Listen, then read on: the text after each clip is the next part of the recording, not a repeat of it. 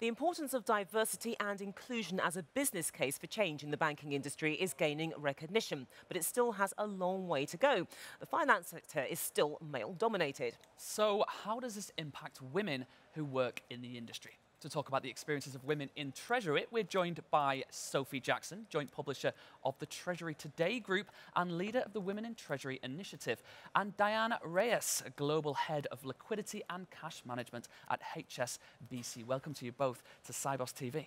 And Sophie, tell us about the Women in Treasury Initiative. What is it and how does it work? Well, firstly, thank you for having me.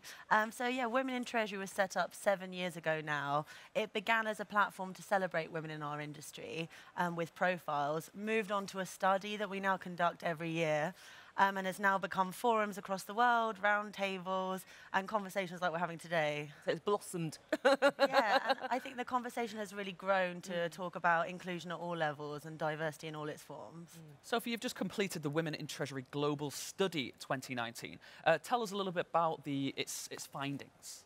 Yeah, so that's our seventh year, and it's been a good moment to look at what we're seeing this year and how that compares to the last seven years as well. Um, so some of the big findings are that sadly 47% of our respondents from this year still feel that in terms of pay parity they're not at the same level as their male colleagues of a similar level of seniority. Um, more encouragingly, the majority feel that their companies are valuing diversity and inclusion and are focusing on it. But whether that's really resulting in real change is yet to be seen. When we look at the top level representation, still only 8% of respondents have a female CEO and 19% of female CFO. So we're not really seeing these initiatives trickling up.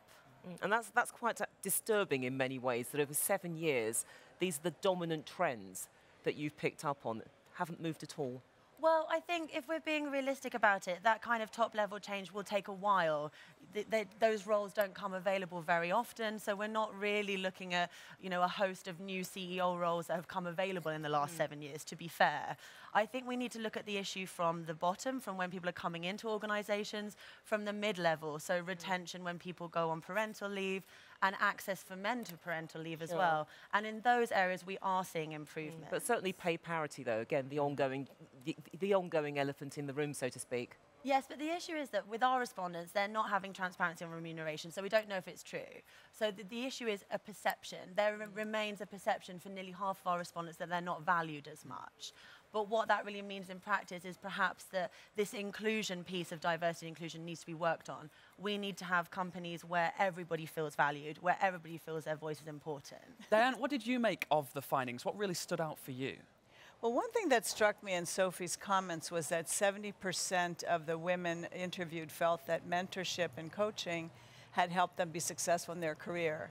And that resonates for me because it was true for me when I was a mentee but also as a mentor, which I am right now for many women, uh, I think the formal coaching and mentoring really sets people in the right direction and helps them create a specific and targeted plan.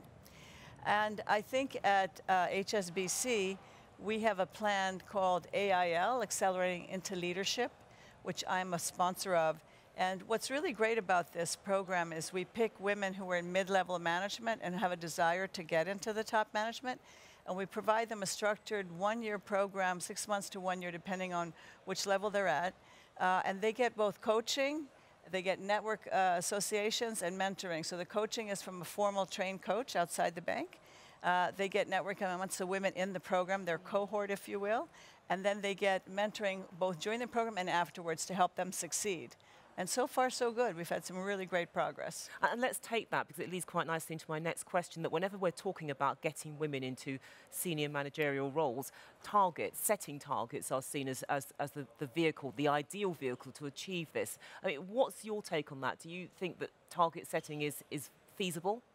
Yes, I think it's feasible, and in fact, I'm quite in favor of it. At HSBC, all of our senior management have targets in their scorecards, and for my business, myself and all my direct reports have specific targets on a year over year basis in terms of gender diversity and how we progressed.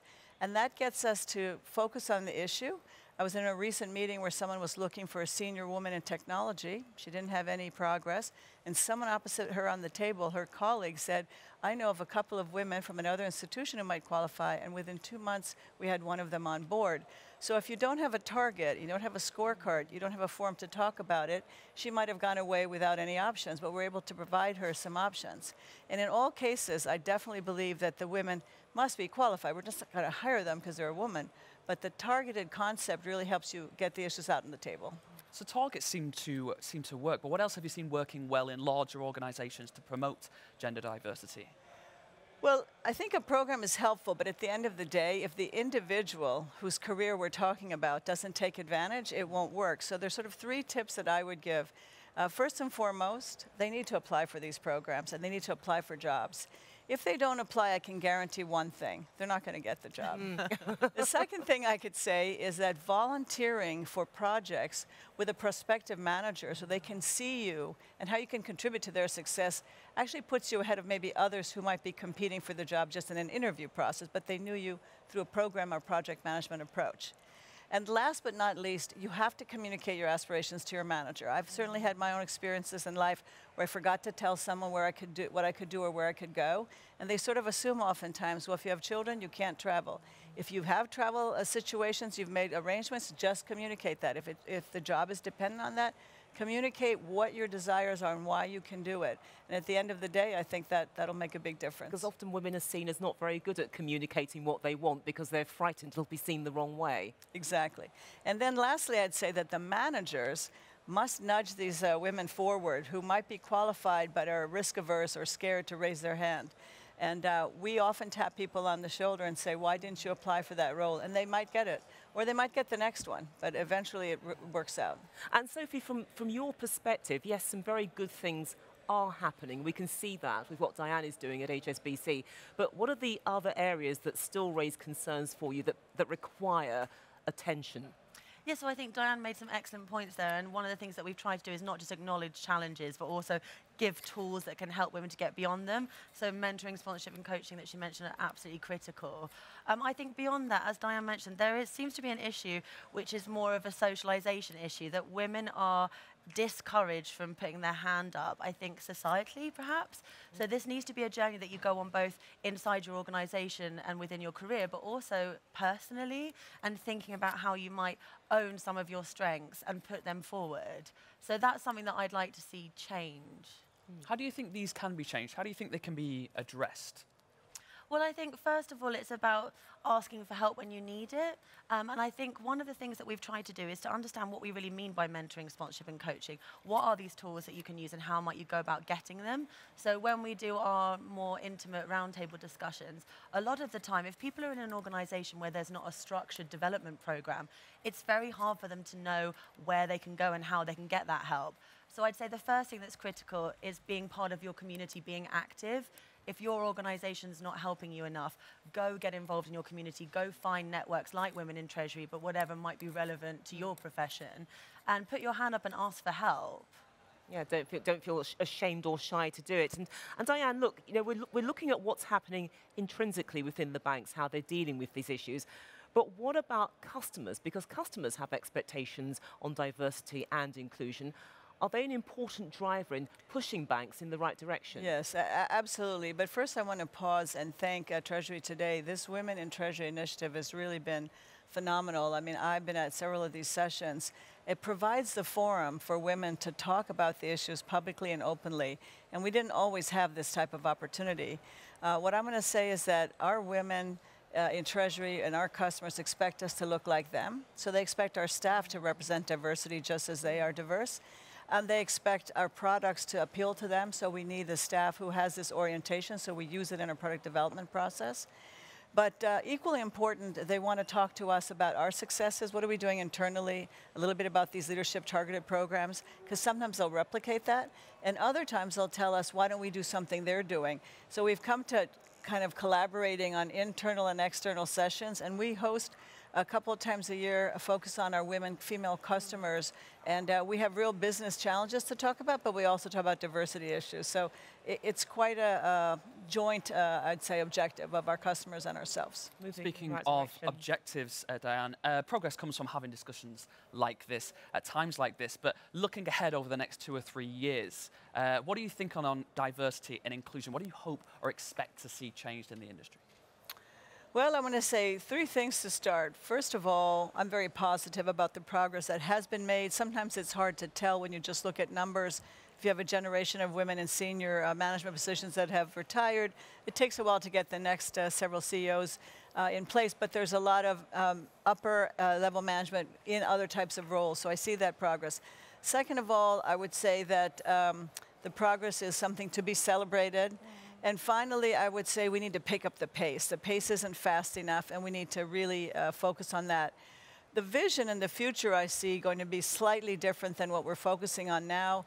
We have a lot of millennials and Gen Zs coming in, and they have various expectations, so they might have a, a real strong view on flexible working hours.